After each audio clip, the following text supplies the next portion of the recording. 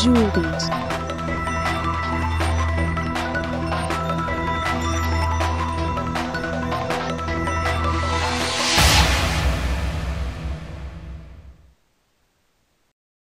నా పేరు శివ. మనం ఈ వీడియోలో స్కోప్ ఆఫ్ వేరియబుల్స్ గురించి చూద్దాం. స్కోప్ అంటే ఏంటి? వేరియబుల్ స్కోప్ అంటే ఒక వేరియబుల్ని ఎక్కడెక్కడ యూజ్ చేసుకోవచ్చు అనేది మన స్కోప్ డిఫైన్ చేస్తుంది. అంటే ఇక్కడ for example int x equal to ten అని ఒక వేరియబుల్ డిక్లేర్ చేసినాము ఈ ఎక్స్ వాల్యూని ఆర్ ఎక్స్ వేరియబుల్ని ఎక్కడెక్కడ యూజ్ చేసుకోవచ్చును దాన్ని ఎక్కడెక్కడ మాడిఫై చేయొచ్చును అనేది స్కోప్ ఆఫ్ వేరియబుల్ డిఫైన్ చేస్తుంది. సో ఇక్కడ ఏంటి ఇంటి ఎక్స్ అని డిక్లేర్ చేస్తున్నాం కదా డిక్లేర్ చేసిన తర్వాత నుంచి ఆ వేరియబుల్ని ఆ బ్లాక్ ఏ బ్లాక్లో అయితే డిక్లేర్ చేసినామో ఆ బ్లాక్ ఎండ్ అయినంత వరకు యూజ్ చేసుకోవచ్చు ఇక్కడ int x equal to ten అని డిక్లేర్ చేసినాం కదా దీని తర్వాత ఎక్కడైనా కానీ ఆ బ్లాక్ ఎండ్ అయినంత వరకు ఈ బ్లాక్లో డిక్లేర్ చేసినాం కాబట్టి ఆ బ్లాక్ ఎండ్ అయినంత వరకు మనము ఎక్స్ యూజ్ చేసుకోవచ్చు. అందుకోసం ఇక్కడ సిస్టమ్ డాట్ ఆర్డర్ డాట్ ప్రింటర్లో ఎక్స్ అని ఇక్కడ ప్రింట్ చేస్తే పనిచేసింది అదే ఎక్స్ని ఇన్సైడ్ ది బ్లాక్ ఆ బ్లాక్ లోపల ఇంకొక బ్లాక్ ఉంది కదా ఆ బ్లాక్లో కూడా దానికి ఇన్షియలైజ్ చేసి దాన్ని ప్రింట్ చేసిన పనిచేస్తుంది ఇంకొక బ్లాక్ క్రియేట్ చేసి దాని లోపల యూజ్ చేసిన పనిచేస్తుంది ఆ బ్లాక్స్ అన్నీ అయిన తర్వాత కూడా ప్రింట్ చేసినా కానీ ఎక్స్ అనేది ప్రి- పనిచేసింది సో ఎక్స్ అనే వేరియబుల్ని డిక్లేర్ చేసినప్పటి నుంచి ఎనీ వేరియబుల్ని డిక్లేర్ చేసినప్పటి నుంచి దాని కింద ఆ బ్లాక్ క్లోజ్ అయినంత వరకు ఆ వేరియబుల్ స్కోప్ ఉంటుంది. ఆ స్కోప్ ఉన్నంతసేపు we could use that variable ఆ బ్లాక్ లోపల ఉన్న బ్లాక్స్లో కూడా మనం ఆ వేరియబుల్ని యూజ్ చేసుకోవచ్చును. ఇక్కడ ఎక్స్ని ఇక్కడ డిక్లేర్ చేసింది ఇక్కడ కూడా యూజ్ చేస్తున్నాం. ఇది వచ్చేసి ఇన్నర్ బ్లాక్. ఆ మెయిన్ బ్లాక్ లోపల ఇన్నర్ బ్లాక్ ఉంది దాంట్లో కూడా యూజ్ చేసుకోగలుగుతున్నాం. ఇది చాలా ఇంపార్టెంట్ థింగ్ మనం తెలుసుకోవాల్సింది. ఈ స్కోప్ ఆఫ్ వేరియబుల్ బట్టి మనము ఎక్కడెక్కడ యూజ్ చేసుకోవచ్చునో చూసుకోవచ్చు నెక్స్ట్ చూడాల్సింది వచ్చేసి ఒకవేళ ఇంట్ వేరియబుల్ ఐ అనేది ఇంట్ వై అనే వేరియబుల్ని ఇన్నర్ బ్లాక్లో డిక్లేర్ చేస్తే రూల్ ప్రకారం ఏంటి? ఆ డిక్లేర్ చేసినప్పటి నుంచి ఆ బ్లాక్ ఎండ్ అయినంత వరకు యూజ్ చేసుకోవచ్చు సో వై అనేది ఇక్కడ డిక్లేర్ చేసినాము ఇక్కడ యూజ్ చేసుకున్నాము. ఈ వై అనేది ఈ ఇన్నర్ బ్లాక్లో క్రియేట్ చేసినాం కాబట్టి ఈ బ్లాక్ బయటకు వచ్చిన వెంటనే ఆ వై అనేది పనిచేయదు. అందుకోసం ఈ ఇన్నర్ బ్లాక్లో డిక్లేర్ చేసిన వై వేరియబుల్ని మనం ఈ వై ఈక్వల్ టు అని ఇక్కడ ప్రింట్ చేయడానికి ట్రై చేస్తే it will not work it will give you compilation error because it is out of scope y scope ఈ బ్లాక్ బయటకు వచ్చేసరికి వై స్కోప్ అయిపోయింది.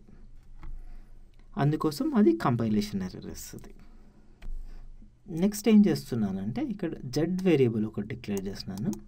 ఆ జెడ్ అనే వేరియబుల్ని ఇక్కడ ప్రింట్ చేస్తే దీని కింద ఆ డిక్లేర్ చేసిన నుంచి ఆ బ్లాక్ ఎండ్ అయినంత వరకు జెడ్ వేరియబుల్ని యూజ్ చేసుకోవచ్చు. జెడ్ ఈక్వల్ టు జెడ్ అని ప్రింట్ చేస్తున్నాను. ఇన్నర్ బ్లాక్లో కూడా మనం జెడ్ యూజ్ చేసుకోవచ్చును.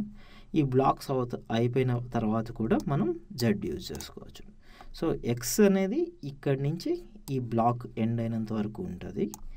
ఇక్కడ డిక్లేర్ చేసిన జెడ్ ఇక్కడి నుంచి ఇక్కడ వరకు ఉంటుంది. వై వచ్చేసి ఇక్కడి నుంచి ఈ బ్లాక్ ఎండ్ అయినంత వరకు ఇంతవరకు వై యాక్సెస్ ఉంటుంది. ఇక్కడ వై స్కోప్ ఈ బ్రాకెట్ అయిపోయిన తర్వాత అయిపోయింది కాబట్టి ఆ నెక్స్ట్ తర్వాత కూడా మళ్ళీ మనం వేరియబుల్ వైని డిక్లేర్ చేసుకోవచ్చు. ఇక్కడ చూస్తే దాని తర్వాత ఇంకొక ఇన్నర్ బ్లాక్లో మళ్ళీ వైని మళ్ళీ డిక్లేర్ చేస్తున్నాను. ఇక్కడ డిక్లేర్ చేసిన వై ఏమో ఇక్కడ వరకు ఉండి దాని స్కోప్ అయిపోయింది. అందుకోసం ఇక్కడంతా వై వ్యాలిడ్ లేదు కాబట్టి మళ్ళీ ఈ ఇంకొక ఇన్నర్ బ్లాక్లో మళ్ళీ వై డిక్లేర్ చేస్తున్నాం. ఆ ఆ వైని ఈ ఇన్నర్ బ్లాక్ అయిపోయినంత వరకు మనము వై యూజ్ చేసుకోవచ్చు. దీని తర్వాత మళ్ళీ ట్రై చేస్తే మళ్ళీ వర్క్ కాదు. ఇక్కడ system dot out dot println అని వై ఈక్వల్ టు వై అని ప్రింట్ చేస్తే మళ్ళీ వర్క్ కాదని ఇంకొక ఇంపార్టెంట్ పాయింట్ మనం గుర్తుపెట్టుకోవాల్సింది ఏంటంటే ఒక వేరియబుల్ని డిక్లేర్ చేసిన తర్వాత ఆ వేరియబుల్ డిక్లేర్ చేసినప్పటి నుంచి ఆ బ్లాక్ ఎండ్ అయినంత వరకు దాని స్కోప్ ఉంటుంది అనుకుంటున్నాం. ఆ స్కోప్ ఉన్నంతసేపు ఆ వేరియబుల్ని యూజ్ చేసుకోవచ్చు. అంటే దానికి మాడిఫై చేయొచ్చును దాన్ని యూజ్ చేసుకొని ప్రింట్ చేసుకోవచ్చును లేదంటే ఎక్స్ప్రెషన్స్లో ఇట్లా వాడుకోవచ్చును. అంతేగాని దాన్ని మళ్ళీ డిక్లేర్ చేయాలి. అంటే మళ్ళీ కొత్త వేరియబుల్ని అదే నేమ్తో డిక్లేర్ చేయాలంటే ఒప్పుకోదు. ఎందువల్ల అంటే డూప్లికేట్ వేరియబుల్ నేమ్ అంటుంది. అందుకోసం ఇక్కడ మనం ఎగ్జాంపుల్ చూస్తే ఇంటి ఏ ఈక్వల్ టు ట్వంటీ అని ఒక వేరియబుల్ డిక్లేర్ చేస్తున్నాము. దాని స్కోప్ వచ్చేసి ఇక్కడి నుంచి ఆ బ్లాక్ క్లోజ్ అయినంత వరకు ఉంటుంది. ఈ మధ్యలో మనం కావాలంటే ఏ యూజ్ చేసుకొని ప్రింట్ చేసుకోవచ్చును ఏమైనా చేసుకోవచ్చు కానీ దాన్ని మళ్ళీ డిక్లేర్ చేయాలి అంటే ఇంటి ఏ ఈక్వల్ టు సెవెంటీ అని చేయాలంటే వర్క్ చేయదు. ఇందువల్ల అదే స్కోప్లో you can declare one more variable with the same name so ఇది కామన్గా చాలామంది చేసే మిస్టేక్. సో అది గుర్తుపెట్టుకోండి. ఆ స్కోప్లో మళ్ళీ అదే నేమ్తో ఇంకొక వేరియబుల్ని డిక్లేర్ చేయకూడదు. ఈ ప్రోగ్రామ్ని మనం ట్రైట్ ఎడిటర్లో చూద్దాం. ట్రైట్ ఎడిటర్లో నేను చెప్పిన పాయింట్స్ కంపైలేషన్ ఎర్రర్స్ ఎట్లా ఇస్తాయి అనేది చూద్దాం.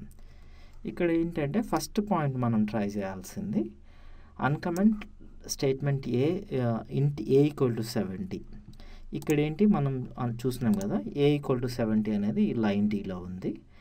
ఏ అనేది ఏ ఈక్వల్ టు ట్వంటీ అని ఆల్రెడీ డిక్లేర్ చేసినాం దాన్ని మళ్ళీ డిక్లేర్ చేయాలని ట్రై చేస్తే then it will give you compilation error line uncomment చేసేస్తున్నా. As you can see here a is already defined in main method అని ఎర్రర్ ఇస్తుంది. సో అదే స్కోప్లో మళ్ళీ ఇంకొక వేరియబుల్ డిక్లేర్ చేస్తే అది ఒప్పుకోదు. ఇంకొక పాయింట్ మనం చూసింది ఏంటంటే వై అనేది ఇక్కడ ఆల్రెడీ డిక్లేర్ చేసినాం. ఏంటి? ఈ ఇన్నర్ బ్లాక్ వన్లో దాన్ని ఇన్నర్ బ్లాక్ వన్ బయట యూజ్ చేయడానికి ట్రై చేస్తే వర్క్ కాదు. దాని కిందనే ఉన్నా కానీ ఆ బ్లాక్ క్లోజ్ అయిపోయింది కాబట్టి వై ఈక్వల్ టు వై అనేది వర్క్ కాదనమాట so if I just compile it and see it will give you compilation error cannot find symbol అంటే వై స్కోప్ ఇక్కడ నుంచి అయిపోయింది ఈ బ్లాక్ అయిపోయేసరికి. సో అందుకోసం it will say compilation error cannot find symbol same problem ఇక్కడ ఇక్కడున్న వైకి కూడా అదే ప్రాబ్లం సే ఫర్ ఎగ్జాంపుల్ ఇక్కడ ఈ వై మళ్ళీ డిక్లేర్ చేసినాము అయినా కానీ ట్రై చేస్తున్నాం అనుకోండి. Then also it will give same problem cannot find symbol సిమిలర్గా ఇక్కడ డిక్లేర్ చేసిన వై డిక్లేర్ చేసినాం కదా దాన్ని మళ్ళీ ఇంకొక బ్లాక్ ఈ స్కోప్ అయిపోయింది అనుకున్నాం. ఇంకొక బ్లాక్లో మళ్ళీ డిక్లేర్ చేసి వాడుకున్నాం. ఒకవేళ డిక్లేర్ చేయకుండా ఉన్న అదే బ్లాక్ సేమ్ లెవెల్ బ్లాక్స్ అయినా కానీ ఒప్పుకో ఒప్పుకోదు. So it will still give me compilation error ఈ వై అనేది ఇంకా డిక్లేర్ చేయలేదు కాబట్టి. కానీ ఎక్స్ అనేది బయట డిక్లేర్ చేసింది ఇన్నర్ బ్లాక్లో ఉపయోగించుకోవచ్చు ఇన్నర్ బ్లాక్లో డిక్లేర్ చేసుకుంది అవుటర్ బ్లాక్లో యూజ్ చేసుకోలేము. అదే లెవెల్లో ఉన్న ఇంకొక బ్లాక్లో కూడా మనం యూజ్ చేసుకోలేము. సో ఈ రెండు పాయింట్స్ మనం జాగ్రత్తగా గుర్తుపెట్టుకోవాలి. మామూలుగా ప్రోగ్రామింగ్ చేస్తున్నప్పుడు ఈ ఎర్రర్స్ చాలా కామన్గా వస్తాయి. ఈ కెనాట్ ఫైండ్ సింపుల్ అంటే వేరియబుల్ డిక్లేర్ చేయలేదని లేదంటే మళ్ళీ డూప్లికేట్ వేరియబుల్ అంటే ఆల్రెడీ డిఫైన్ చేసిన దాన్ని మళ్ళీ డిఫైన్ చేస్తే ఆల్రెడీ డిఫైన్డ్ అనేది కూడా వస్తుంది. ఈ ఎర్రర్స్ కామన్గా వస్తాయి. దాన్ని రిజాల్వ్ చేయడం నేర్చుకోవాలి మీరు. మనం ఈ వీడియోలో స్కోప్ ఆఫ్ వేరియబుల్ అంటే ఏంటో తెలుసుకున్నాం. ఒక వేరియబుల్ని డిక్లేర్ చేసినప్పటి నుంచి ఎక్కడెక్కడ యూజ్ చేసుకోవచ్చును ఎప్పటి వరకు యూజ్ చేసుకోవచ్చు అనేది ఆ స్కోప్ ఆఫ్ వేరియబుల్ డిఫైన్ చేస్తుంది అని తెలుసుకున్నాము. నెక్స్ట్ ఏం చేస్తున్నామంటే ఆ వేరియబుల్ని ఇన్నర్ బ్లాక్స్లో యూజ్ చేయడము చూసినాము. తర్వాత ఒకవేళ వేరియబుల్ని డిక్లేర్ చేసింది. అదే నేమ్తో మళ్ళీ ఇంకొక వేరియబుల్ ఆ స్కోప్లో ఉన్నప్పుడే ఇంకొక వేరియబుల్ డిక్లేర్ చేస్తే ఏం ఎర్రర్స్ వస్తాయో చూసినాము.